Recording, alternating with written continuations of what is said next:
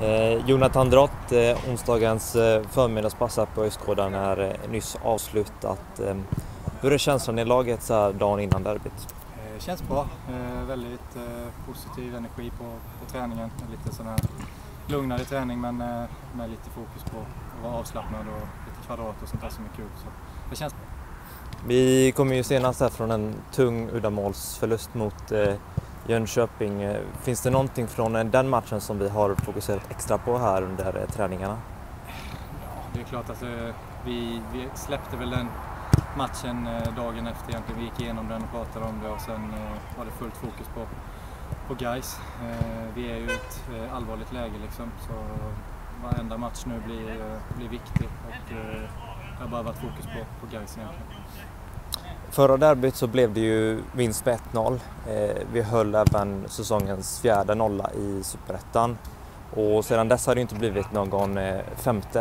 Eh, hur ska vi lyckas eh, hålla nollan igen tycker du? Det gäller väl att vi, likt förra matchen mot Gais, att vi jobbar som en enhet över hela planen. Att vi offrar oss för eh, varandra och eh, hjälper varandra. Eh, De är ju duktiga offensivt så att det, det kommer bli en utmaning men eh, vi vill ju framförallt eh, vinna matchen. Det är ju det som är det viktigaste. Men eh, kan vi hålla nollan så är mycket vunnet också.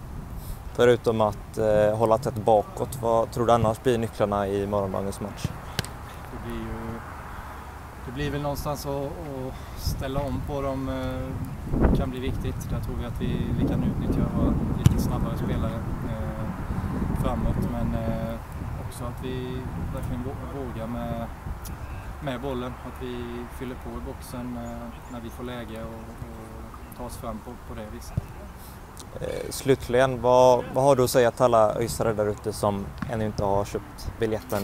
Nej, det tycker jag absolut att man ska köpa, köpa biljett och, och komma och stötta oss. Vi, vi behöver er verkligen i de här tiderna och eh, jag tycker väl att det är på något sätt ett speciellt derby också med tanke på, på vad det gäller, både för oss och, och för Gais så att det, det kommer bli en spännande match där båda verkligen kommer vilja vinna matchen. Så köp biljett och, och kom och stötta. Tack. Tack!